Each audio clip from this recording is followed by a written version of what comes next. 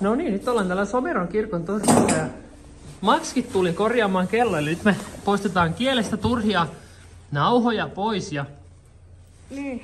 sitten sen jälkeen niin tota, laitetaan tuo iso kello paremmin kiinni. Niin. Miten?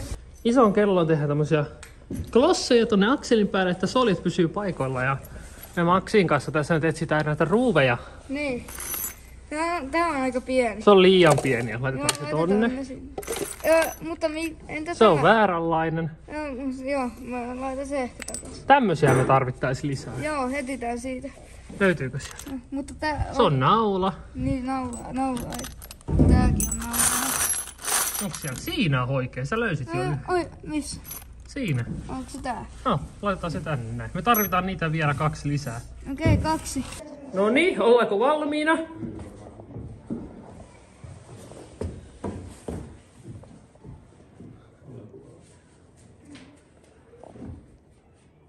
Joko? Valmis.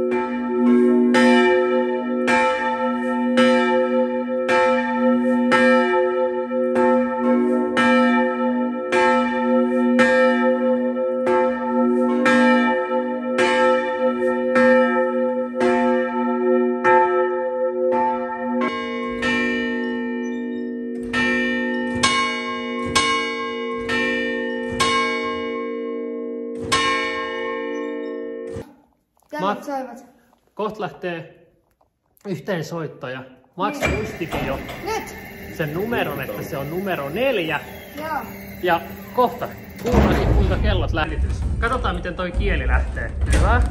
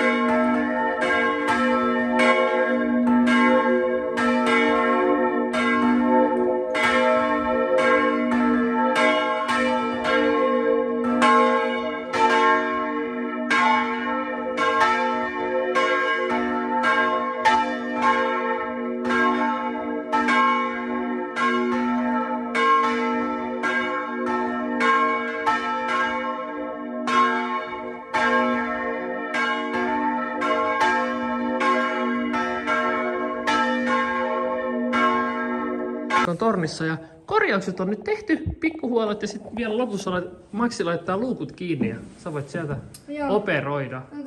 Noin ja sieltä menee luukku kiinni ja homma on purkissa tältä päivää. Joo. Erinomaista Maxi.